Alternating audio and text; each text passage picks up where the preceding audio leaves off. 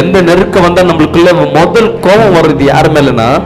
உன் கூட இருக்க உறவுகளையே நான் கஷ்டப்படும் போது எதுவுமே கொடுக்க மாட்டேன் அவங்க கிட்ட இருக்குன்னு நினைப்போம். உண்மையை சொல்லணும் பண்ணுங்கன்னா யார்கிட்ட பணம் இப்பெல்லாம் கிடையாது. எச்சு ஏமாத்துறவங்க ஏதோ ஒருத்தர் தான்.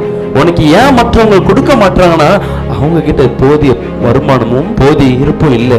உன் கூட பிறந்தவன் தாய் தகப்பன் சகோதர சகோதர ரத்த பந்தம் சொல்லுவாங்க பார்த்தீங்களா? அவனை வெறுக்காத. அவங்க சூழ்நிலைக்காக தான் உன் மேல அன்பு செலுத்தாம இருக்கிறாங்க. அவங்ககிட்ட இருந்தால் அவனுக்கு உனக்கு கொடுத்த அழகு பார்க்கிறவங்களா இருப்பான் சொல்லும நினைக்கலாம். என் சகோதரி அப்படி கிடையாது. என் அண்ணன் அப்படி கிடையாது. அவ்வளோ மோசம். இல்லை. எல்லாருக்குள்ள பாசம் இருக்கும். இயலாம என்னால் கொடுக்க முடியல. ராமேன்னு சொல்லுவீங்களா நம்ம நினைப்போம் எனக்கு மட்டும் வரட்டும் அவங்களை என்ன பண்ணுறேன்னு எனக்கு வந்தா நான் செய்து நீ பொருத்தனை பண்ண கர்த்தர் உன்னை உயர்த்துவார். உன் மூலமாக உன் குடும்பத்தை ஒரு ரட்சிப்பு கிடைக்கும்.